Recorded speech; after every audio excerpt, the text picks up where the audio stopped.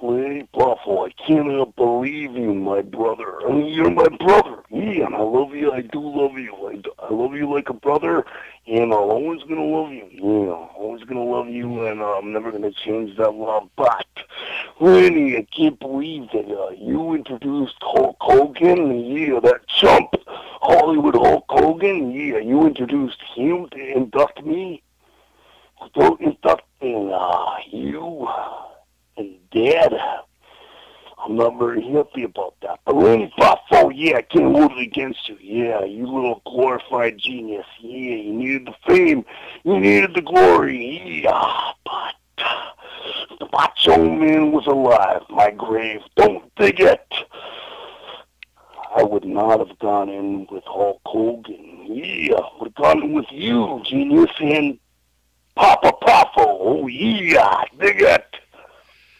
And Macho Man did have a point because apparently he said if like uh, all the Von Erich family went in there and like Lanny was actually more famous than some of the Von Erich kids, so it was. Oh, valid- really? That oh, that is a good point. Yeah, because he said if the Von Erichs could all go in, then the Poffos can go in as a group.